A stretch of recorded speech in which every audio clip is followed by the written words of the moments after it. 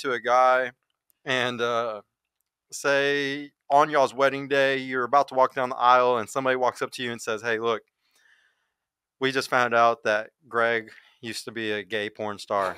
And he has all these films all over YouPorn and all these porn sites and uh, yeah he's he did gay porn for 20 years and then he came and married you and he lied the last three years before y'all get married and yeah he was he's a gay porn he's, he did gay porn are you okay with that are you still gonna get married to him you gonna walk down the aisle I think the gay porn doing that really wouldn't bother me as much. It's the lying part. It's the Mhm. f- point that you couldn't look me in the eye and tell me something, and I don't want to marry someone that's deceitful. What if what if- what if he told you you know like if he told you a little bit before a year before like he proposed but he was like look i'm gonna propose but i need to tell you something Would you be with a, I a did bi this. guy? Yeah, I'm bi as well. No, no. Would, would you be okay with a bi guy? Yes. Yeah, Uh, you, uh, you two are uh, just no, a different but, but but but but you'd be okay with that So personally, um, I actually don't. Um, so Wait, what? personally, The answer is not just a simple yes. no, the personally, I don't date bi men. What? yeah, Um, no. not that th- that that I have anything against them. Do you Just not thing. attracted to them? I'm just not attracted. Hey, to I, them. I want to ask the same question to you really quick. Same thing. You would be I'm okay getting with that? everything wrong about Huh? you. I thought you would. Yeah, same, like like same thing. What would you you would you, you would be with you, like you would still marry him if he proposed and he told you that he did 20 years of gay porn and then you know like, And then you okay get le- yeah, I am. Um, and then you mentioned that a year before he Yeah, yeah, yeah. Like he's proposing to you, and he's like, on, like right before he proposes, he's like, "Look, I want to get married, but I need to be honest I with you. I got to tell you the think truth." that like as long as we've had this whole entire relationship and it's built on something, if to the point where I'm already getting married to you, I already have built that trust up with you, and it's not that I'm not capable of replacing you or like I'm too emotionally attached. It's just the fact that like that's forgivable. You know, everybody has deep down shit that they have that not necessarily everybody's comfortable with bringing up to. And it's not that you weren't safe to bring it up to me, but it's just like I don't care how you judge the guy. This the whole point of this is to bring up Well, that's a what I'm point saying. I'm trying to make. Yeah, like I I would.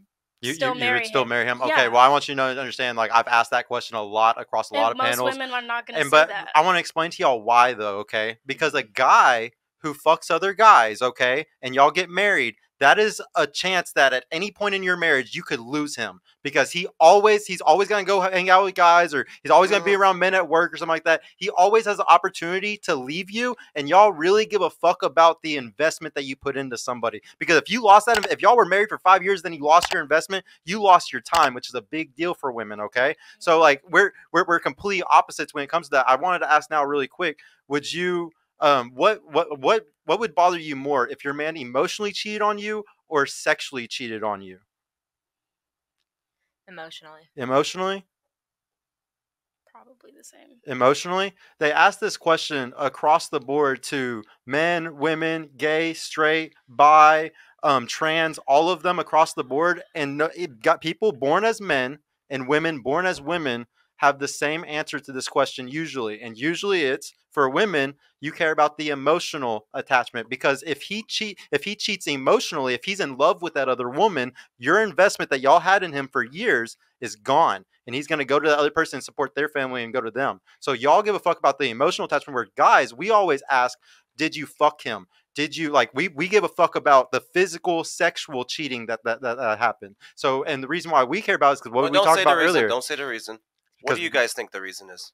Why is it the difference between the two genders when it comes to It's because cheating? you want to physically dominate something. no No, no, no. Even if you believe that, what's the root reason for it? Why are we like this? Why are we different when it comes to looking at cheating?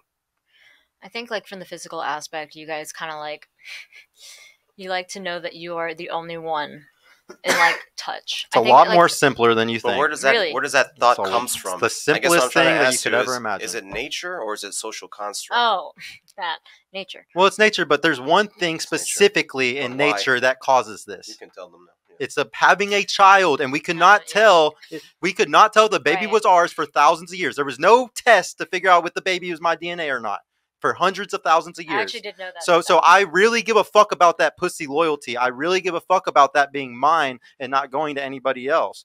Like and like y'all give a fuck about provisioning loyalty. Y'all don't want me running off and giving my money energy attention and time to other women. We don't want you going and giving away your vagina to other men because I don't know if the baby's mine then. That makes a lot of sense. Even though we have birth control and pregnancy tests and Well, all now this it's stuff, like- now yeah. we do. but we but- still care. Yeah. we just Yeah, can't help it. Yeah, I can't get rid of my hard wiring to be worried about that shit. That's why guys get jealous.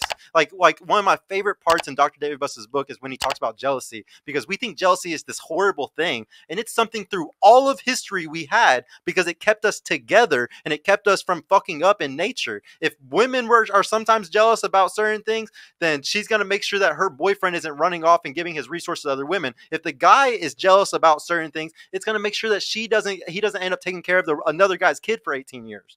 We, we both have reasons why we're jealous and there's nothing wrong with jealousy. There's nothing wrong with it. Um, we're, guys, we're actually gonna uh, close it up tonight because we were gonna uh, end just a little bit early. Sorry, but um, let's do do, you the girls last. have any questions? yeah, yeah, yeah. Do y'all have any questions, really quick? No. No. Okay. Uh, yeah. Just for my last question, I always ask. You know, uh, what do you think for the show? Did anything resonate, and would you like to come back? Um, I like this show. It's interesting, even though I don't speak as much or like, it's whatever. Um, it's good to have a 20 year old's perspective. Honestly, um, we, we haven't had a lot of people at your age that come on. uh, I would come back if it was like a different topic, but you She's know, saying I'd come back if this guy wasn't here. You can say? Oh, no, I want you to come back next time when we have like a really strong sexual topic because I know that's what you like to talk about on your stuff. And actually, I'm probably gonna go watch some of your content so then like I can try to rebuttal you on something because I've watched some of it and I disagreed with fucking ninety percent of it. Yeah, so I, I would love to, like, so. I would definitely like to like come and like I don't know, even if we maybe did an episode where it was just me and you and we just went over Yeah, some of your stuff and just like commentated over it, you know, together, just something like that. I would love to like go over shit like that with you one time. Um, well, what about you? Um, did you like the show? Would you uh, did, did anything resonate and would you come back? I think um, we all just, I think for us, we just have really different opinions. I appreciate it just because, like, for me personally, I always like hearing different people's perspectives because I feel like it challenges everybody. Because if you're always surrounding yourself with people that specifically think the same exact way, then what are you fucking doing? But also, um, yeah, we just don't agree on a lot. Yeah. But I kind of like it that way. Yeah, the I think we biggest agreed on a lot actually. and, and a lot of like my stuff though, I really want y'all to understand. Like, don't shoot the messenger. A lot of the shit that I say on this show, I literally take from straight evolutionary like psychologists, people that spend their whole life, you know, eight, ten years, twenty years studying, doing studies on this type of shit. So I'm not pulling shit out of my ass. I'm literally telling y'all exactly how men and women are in general. Obviously, there's people that can be exceptions to the rules, but at the end of the day, there is a best path for most things and that's what we try to teach on the show is just like you know there is a better way of doing it and this might be the better way of doing it you know?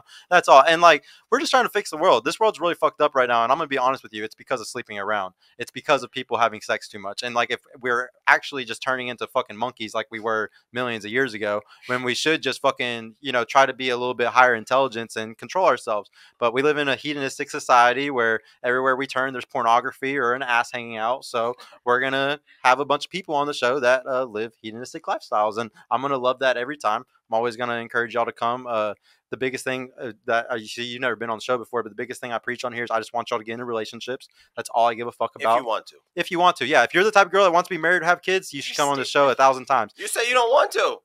Yeah, you don't want to. You just yeah. told us you don't want to be in a relationship. Yeah. So like my Why advice, my advice does nothing for you. Sadly, it just doesn't. It's not. It's it's useless. Absolutely. But um, but no, I really appreciate you for coming. I would love for you to come back though. Honestly. Like so But- that was an interesting show. Um, you know, luckily we didn't have to kick anyone off. No one cried. I'm you glad know, I that didn't was walk good. out. That was. No, She you- was like, I was close, but I, I was like, held it to you. motherfucker, no. yeah, no, it's okay. No, it was good. You know.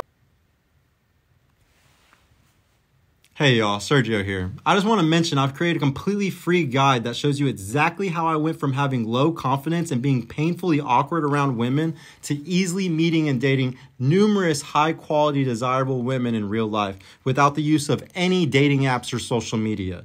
So if you're struggling to get out there, if you have approach anxiety or don't know what to say or how to interact with women to make them want you and are sick of using dating apps with low value girls that hundreds of other guys have been chatting with, click the link in the description below to grab your free guide right now. And if you want private mentorship with me personally to help guide you every step of the way in this process, check out my mentorship program in the description too. I would be happy to help you reach your dating goals and overcome any obstacle you may face. And trust me, if I can do it, you can do it too. I hope to see you soon. Peace out.